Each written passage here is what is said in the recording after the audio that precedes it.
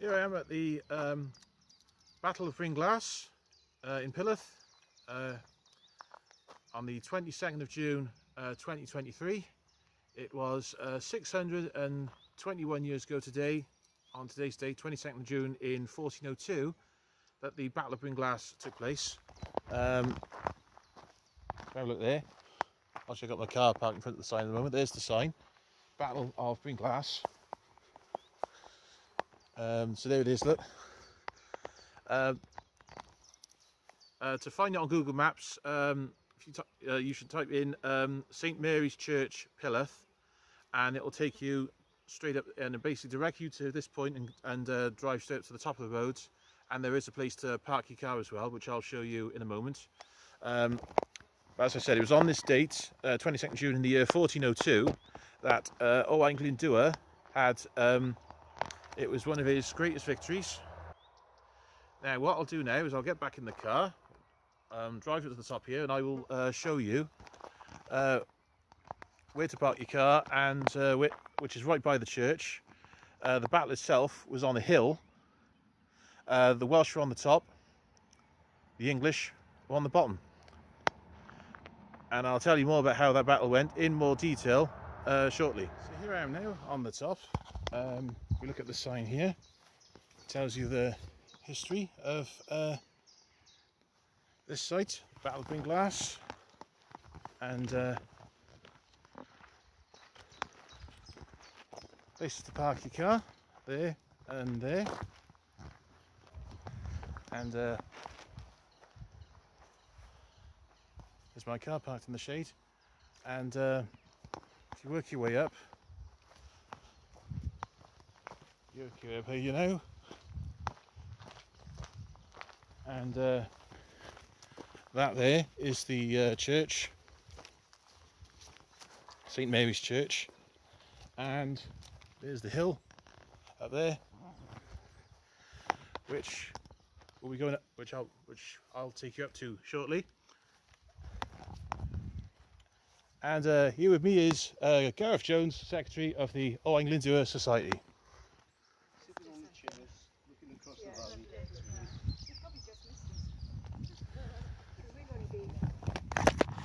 And today we are fortunate to have a, a walking group from uh, Coventry.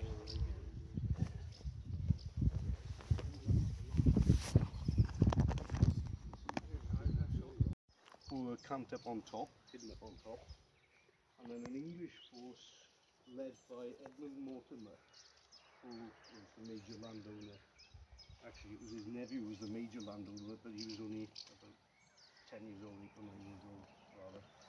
And so the Edmund, the older Edmund, was uh, tasked with bringing a large English force with a number of English lords up the valley and sorting out Glyndŵr because basically the English were trying to get uh, had already been trying to get him for two years.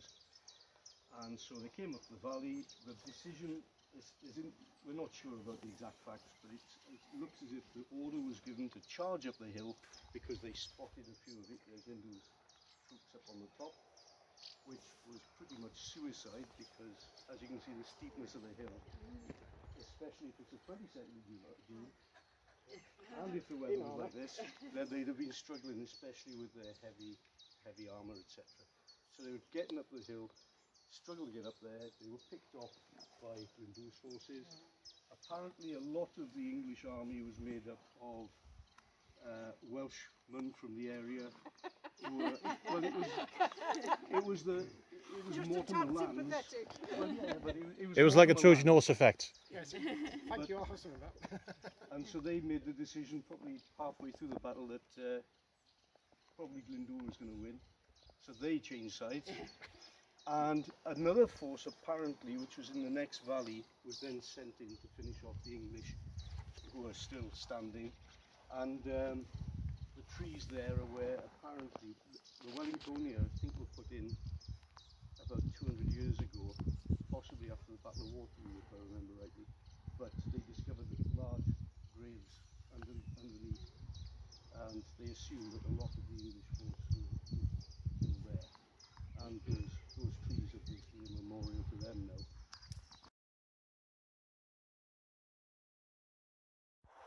Right, I have now um, ascended up the hill, the very hill that the uh, Battle of Brynglas was on. They're still here. Uh, those trees behind me, the tall trees there, is where some of the um, dead are buried from that battle. And you look at look at how it was with this hill.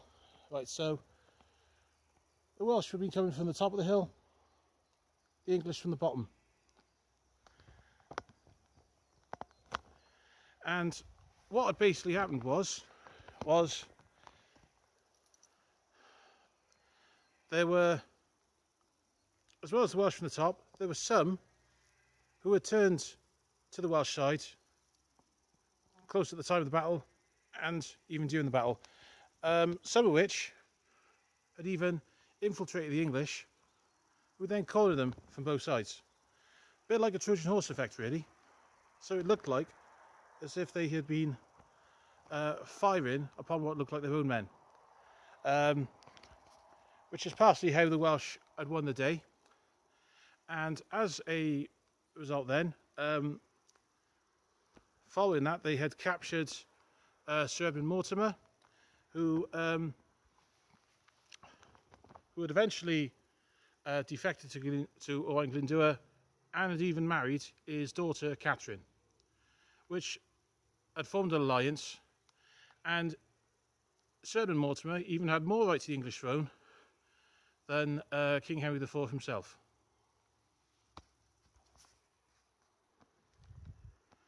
So alliance was then fought, uh, then formed um, between the Mortimers, the Percys of Northumberland, and Owain Glyndŵr.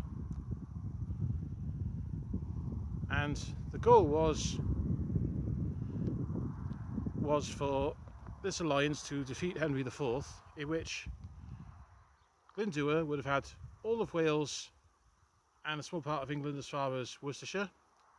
The Percys would have had North England and the Mortimers would have had South England. Which meant in the past 600 years we would have had a slightly bigger Wales and two small Englands, North and South. Now, I'm going to attempt, after taking a break here in the shade, halfway up, I'm now going to attempt to go up there where the Welsh should come from. Here I am now on the very top of the hill. Look at downwards. And you see the, the big bunch of trees behind me, right there.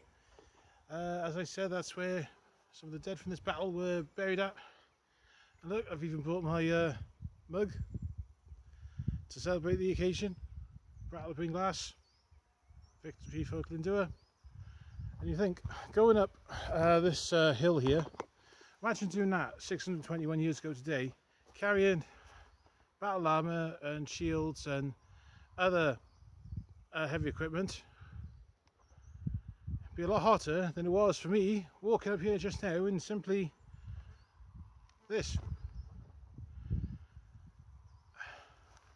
It's a nice view from up here as you can see.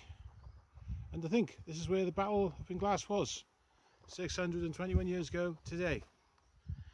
And now I'm going to sing our national anthem. My hela na dayan on oed i be glad by wrath and holion in walion o free I go glad glad Galwyn tramad troswyddyd Lasant I gwaith glad, glad, glad Oi fi'n glad tramo a fi e fi hoff bai o pathed i'r heniaeth Bye. Carith.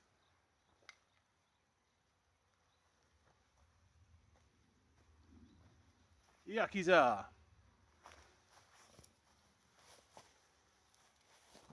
Now, I I'm walking down the very battlefield where the very field where this battle took place uh, 621 years ago today. Imagine them all, the Welsh running from up there, the English charging from down there. We Welsh had the higher ground. And as I said, it was 621 years ago today that they charged down this very this very battlefield, which I'm simply walking down right now with my flag.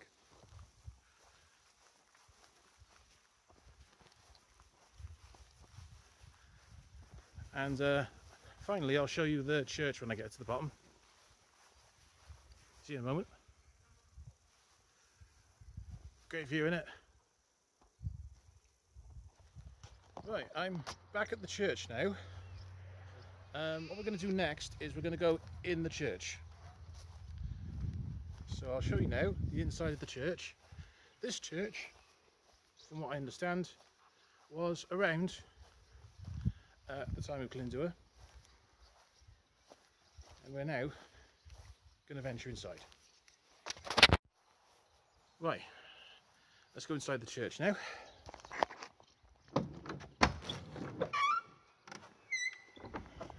Ooh, a lot cooler in here.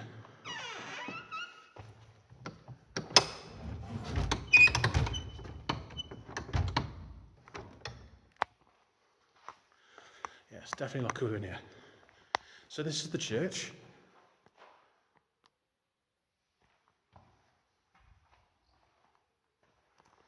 And uh, here's a little exhibition of uh, the battle that was on the uh, battlefield.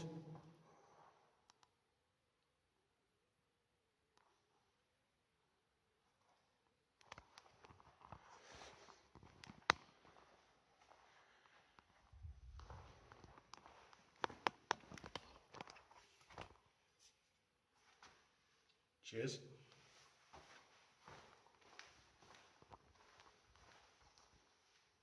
Right, um, now I'm going to take you upstairs, up this, uh,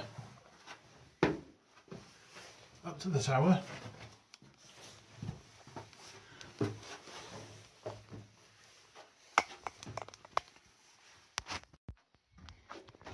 Right, we're at the top of the tower now. Um, it is dark in here, uh, unfortunately, so I'm not sure if we can see much. Um, my mug. Um, but I've got the torch on, so we might just be able to just see how it looks from up here. Um, but in case I can't, I will obviously uh, show you from a photo uh, momentarily how the whole room looks. Uh, but this is roughly how it looks. Um, even though it's broad daylight outside, it's clearly not bright enough, even with my torch on, um, to see how it looks. But as I said, I will show you a photo in a moment uh, of myself in here, um, which will give you a rough idea of how it looks up here. But um, there's the stairs. So this is at the um, this is at the top of the of the tower where the bell is um, rang.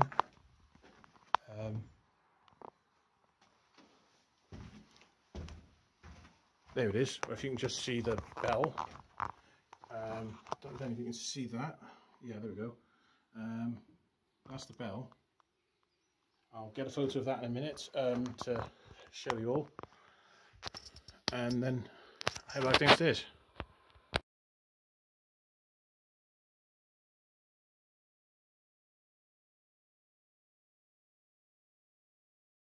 Right, finally, I thought I'd take you around the back of this uh, magnificent church, in which there is a well, which I will show you now.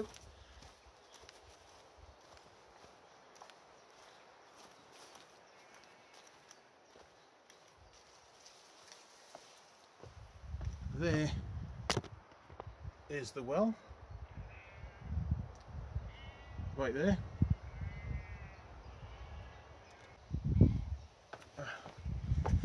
Right. So yeah, there's the well. the Holy well.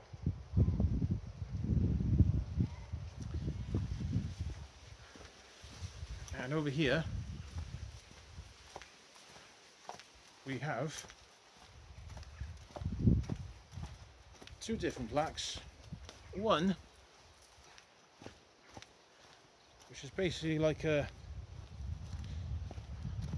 like a sort of map of the area battlefield mainly. That I'll show you now. There it is.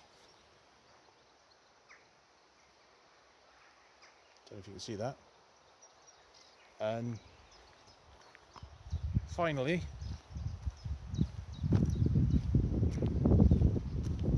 the plaque that also commemorates the battle that took place here on today's date in the year 1402. There it is there.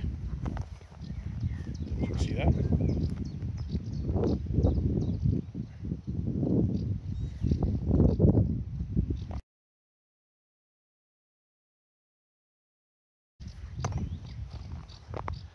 And that concludes the concludes my um, video documentary of the um, site of the Battle of Brynglas, which, as I said, was a key victory for Owain Glyndŵr, which ended with the capture of uh, Sir Edmund Mortimer, who had um, six months later, or within six months, had defected to uh, Owain Glyndŵr, and who had then even married Owain Glyndŵr's daughter, Catherine, whose um, statue, the statue of Catherine Glyndŵr, um, is in London at, um, at the churchyard. The church itself's not there anymore. So the church uh, was sadly destroyed um, during the Great Fire of London, but its um, garden, however, is still there, and um, there is a statue of Catherine Glyndŵr there, which I'll show you a photo of in a moment, um, which is opposite uh, Cannon Street in, Lon uh, in London, Cannon Street Station. Because what had happened was, was uh, when the English um, eventually retook Harlech Castle, which for four years had been Owain Glyndŵr's royal court, um, what had then happened was Glyndŵr and one of his sons had, his son had escaped, um, but uh, Catherine and her mother Glyndŵr's wife Margaret and many others were um, they were they were uh, firstly imprisoned uh, in Harlech Castle when the English uh, took it back but then they were taken to the Tower of London um, where they eventually died and Catherine uh, was then buried at the place where her monument is now um, and I did visit that uh, monument a few months ago in London and I, as I said I will um, show you a photo of that monument which should appear on your screen in a moment.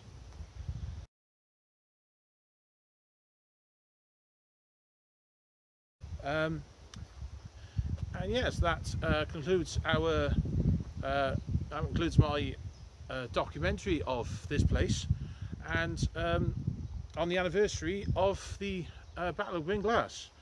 Um, and if you want to see more videos, uh, historical videos like this, um, if you're watching it on YouTube that is, um, please press the subscribe button on my YouTube channel. Um, any of my friends who are watching this on Facebook, feel free to share it around. It's just great to get the, it's just important to get the Welsh history out there. Um, and uh, if any of you are around on uh, Glyndŵr Day, which is uh, the 16th of September this year, this is 2023, which happens to fall on a Saturday, we have got the um, the Glyndŵr parade in Corwen uh, with a church service beforehand. Um, time yet to be confirmed, but it's usually around, I think it's 10.30, 10 o'clock with the, uh, the church service that is with the parade, uh, about 11 I think it is. Um, but all the info that will be on the Owain Glyndŵr Society website. and the other one, as usual, is um, in the on the same day in the evening in Harlech. Again, Saturday, 16th September. Um, usually starts at 7:30 at uh, Slide Rock, and then ends um, outside uh, Harlech Castle, led by uh, the Ardudwy Knights, who are a, um, a reenactment group. Um, and now I am going to get into my car, and as you can see, I've put flags on it as well. Uh, and I'm now going to get in my car and head straight back to Newport. Hoi Val, bye for now. And yn fawr.